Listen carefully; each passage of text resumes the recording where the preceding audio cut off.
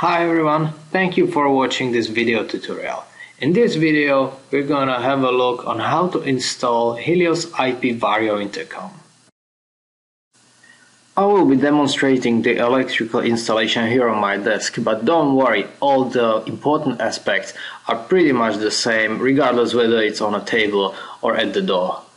So this is how the Helios IP Vario looks like straight from the box. First of all, you have to remove the stainless steel cover using a provided screwdriver. As the next step, you need to remove the four screws holding this middle plastic part with uh, buttons and a keypad to finally see the chassis with a PCB. At this moment, you should already have ready the place where you wanna install the Helios IP Vario, including the wires for the Ethernet, power supply and lock connection. Please note the wiring scheme which describes the connection of the particular wires into the screw connector. After you connect all the wires to the screw connector, place the screw connector on its place.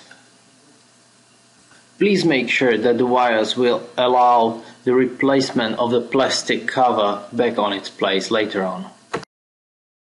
Now is the time to attach the Helios IP Vario chassis to the wall. Please use the two holes for screws which will hold the Helios IP on a wall or in a mounting box. It's very important, especially for outdoor installation, to make sure that no water or basically any humidity can get into the Helios IP Vario. I do recommend to seal all the openings in a chassis. If you wish to use your Helios IP Vario with a card reader, simply install it into the chassis using a connector and two screws.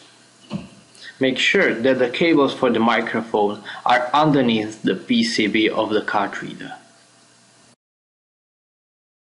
Installing of this plastic part might seem easier as it is. It's kind of a tricky part because the cables or the loudspeaker might get stuck a little underneath and you make sure that everything is nice and neat organized under the plastic part and all the four screws fit exactly to their places. Now and this is Helios IP Vario with stainless steel cover back again ready to use. In next part I will show you how the Helios IP boots up and how you can tell what is its IP address. After we plug the power supply in, the first sound announced that the Helios IP boots. The second one says that it got an IP address and this is how we make it say its IP address. 192 168 100 If we are in the same local area network, we can also use Helios IP network scanner to go through the whole network and let us see the IP addresses and some other information about Helios IP intercoms in a network.